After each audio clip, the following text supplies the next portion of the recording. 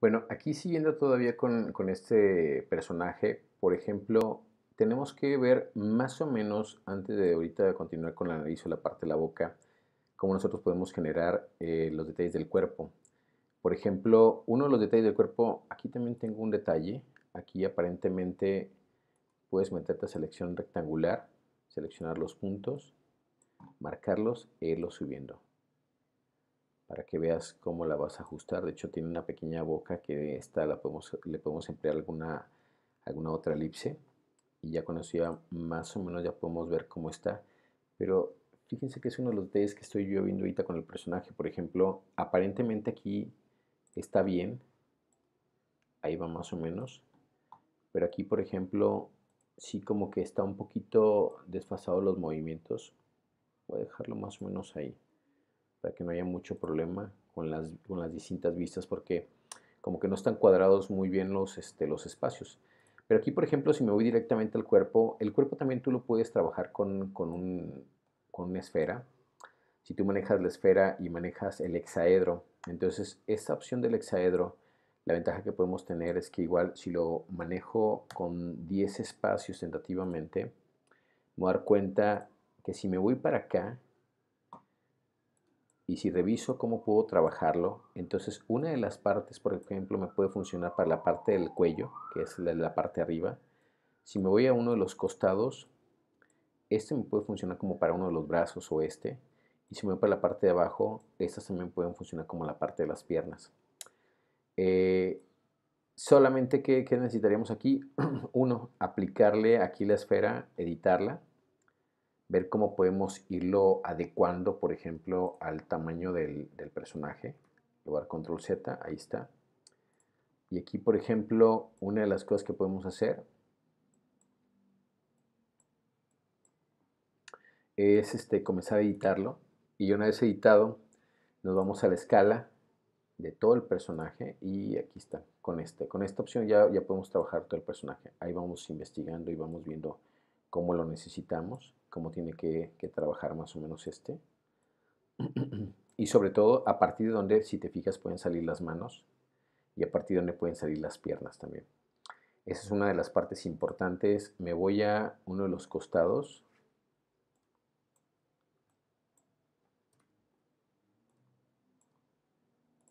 Por ejemplo, y eso lo que voy a hacer es algazarlo aquí. Nada más que sí está como que un poquito desfasado. Voy a ver si lo puedo bajar un poco. Me meto aquí en opciones, configurar. Y voy a checar el desfase, en este caso es de las Y. Como para que pueda empatar y que no haya ningún problema. Ahí está más o menos. Y aquí, por ejemplo, ya con eso voy a revisar cómo lo puedo, cómo lo puedo acomodar. Por ejemplo, yo sé que si lo, si lo sigo trabajando, y lo sigo acomodando, ahí lo voy a ir viendo. Aquí lo sigo escalando también. Ahí está más o menos, yo creo que es suficiente. Eh, voy a checar todavía el tamaño del personaje. Ahí está más o menos. Y lo voy a escalar. Ahí está más o menos. Entonces ya con eso ya tengo más o menos una idea. Toma en cuenta que, si de repente vemos el objeto así, entonces eh, tú puedes utilizar aquí, por ejemplo, un par de cilindros para hacer las manos o también puedes utilizar un par de cilindros para hacer los pies.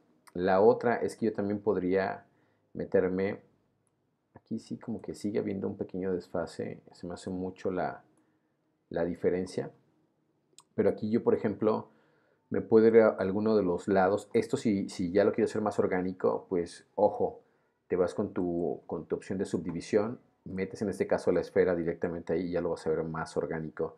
La otra es que puedes irlo trabajando que, tenemos mucho que no lo trabajamos.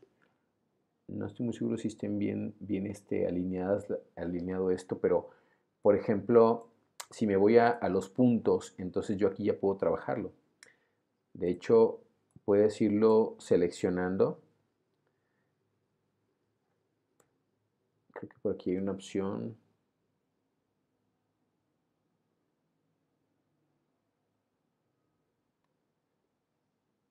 ver dónde está.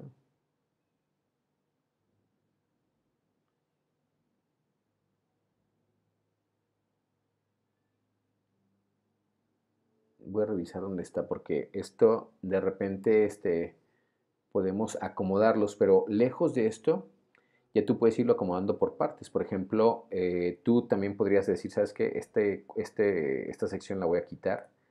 Quitas esta sección, le das eliminar. Vamos a ver si esta parte nos responde.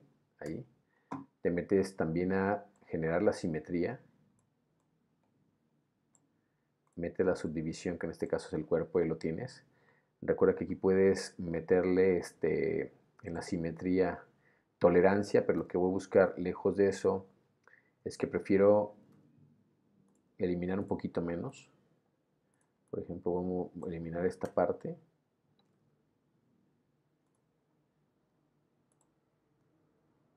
Ahí está. Y este lo voy a aplicar la simetría y voy a meter la subdivisión para que me lo pueda generar.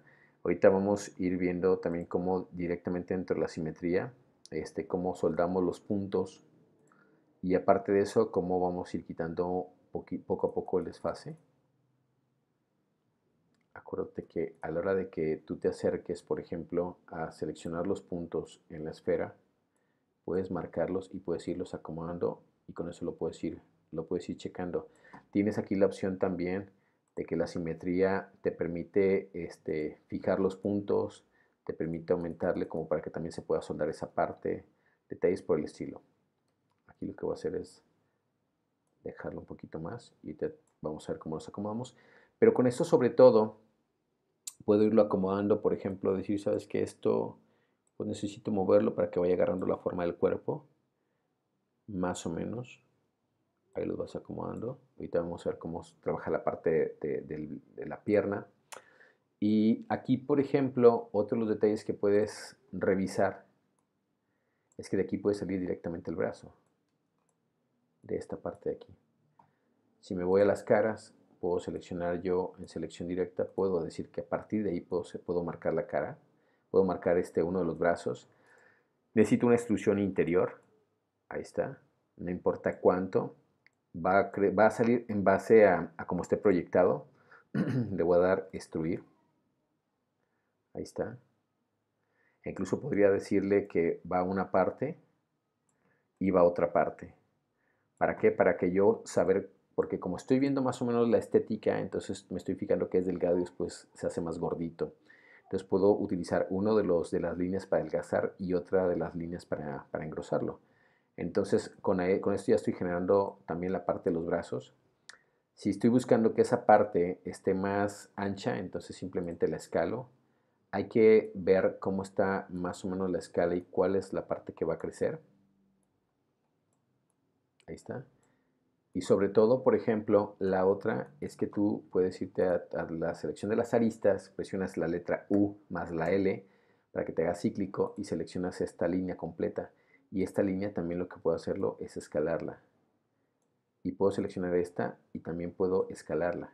Entonces con eso ya voy más o menos viendo cómo se puede ver el, el brazo. Esta también le puedo dar doble clic si no me funciona ahí, entonces la letra U más la L para que te marque esta línea y esta también la puedas ir escalando. Entonces ahí ya, ya más o menos puedes ir, ir, revisando y cómo también a partir de este punto yo puedo seleccionar todo y, bajarlo. Por ejemplo, puedo seleccionar quizás a partir de aquí, voy a ver si me funciona. Si no, puedo irme a generar más divisiones. Ahí está. Voy a ver a partir de donde quiero rotar. Por ejemplo, mi plan es rotar desde acá. Pero si te fijas, si roto aquí, va a rotar ahí. Entonces podría rotar así sin problema. Podría ir bajándolo. Y sé que la parte de acá se va a ir acoplando. Por cómo está la forma, ¿me explico? Entonces finalmente lo que, lo que yo necesito es llegar a ese punto en el cual la rotación funcione bien.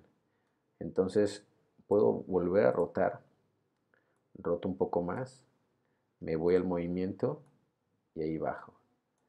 Entonces ahí ya más o menos estoy acoplando cómo es el sentido del brazo y si te fijas el otro brazo yo lo tengo también. Entonces con esto ya estoy generando poco a poco el cuerpo y puedo irme directamente ahorita a pulir también la forma de las manos y la forma de los pies. En este caso los pies pueden salir también de aquí de abajo. En el caso, por ejemplo, de la colita, pues simplemente es un, círculo o una esfera, perdón, la voy a eh, escalar.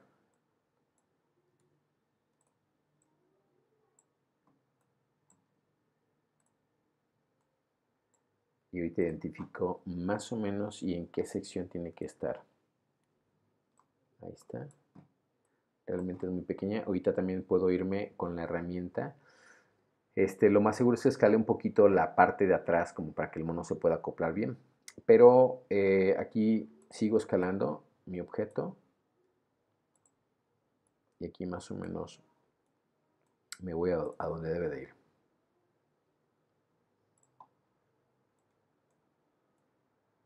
Ahí más o menos va, va también el personaje. Puedes irte con el color blanco también. A irle acomodando. Y ahí va el personaje. Entonces, eh, aquí, por ejemplo, lo, que estamos haciendo ahorita es tentativamente dándole forma y, y dándole algo del, modelado. La intención con esto es que también tenemos que darles unos acabados en cuestión de la, de la piel, en cuestión de los colores, la nariz, etc. Y sobre todo, este, este, en este detalle no caigan, ¿eh?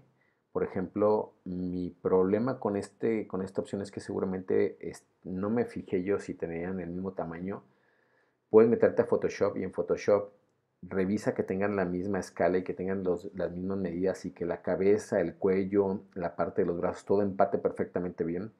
Yo lo que hice con algunos otros que les he pasado es lo que hago. En este seguramente yo daba por hecho de que estaba empatado bien, pero al parecer no. Entonces, por ejemplo, aquí en esta opción, lo correcto es meterte a configurar. Lo correcto es que te metes a Photoshop y lo empates, ¿no? Pero, por ejemplo, este, aquí, lejos de que yo pueda mover la escala, que es lo que me la ha pasado haciendo ahorita, aquí también tú puedes mover el tamaño de tu personaje. Mira, ahí está. Y lo puedes, este no es.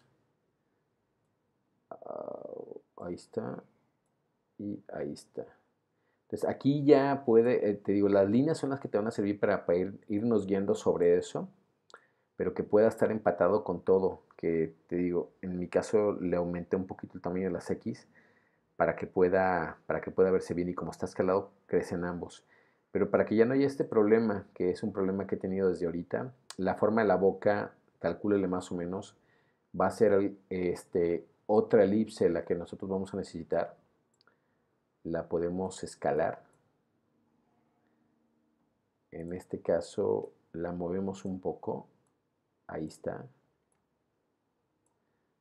te fijas, la nariz también es una figurita que también tiene algo de volumen.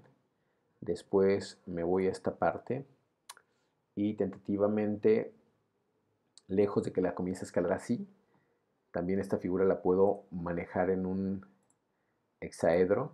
Le puedo poner 10 lados y lo edito. Y ya con eso más o menos lo voy a acomodar. Voy a bajarlo un poco porque tentativamente va a estar por acá y lo voy a editar para acá. Creo que ahí va a estar. Ahí está también de este lado. Al parecer no está todavía bien, bien este empatado. Me meto en opciones, configurar. Y voy a tratar de mover un poquito el desfase de las Y que son los que suben y bajan.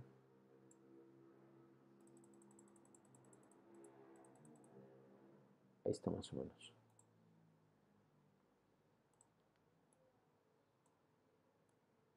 Ahí está.